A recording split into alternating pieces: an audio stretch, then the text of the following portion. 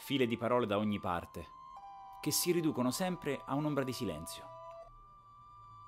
Non so più che farci e perdere tempo diventa un gioco perverso. Tutto sembra avido e ruvido, scomodo e inutile da toccare. Un assetato che in mezzo all'oceano non ha più voglia di bere.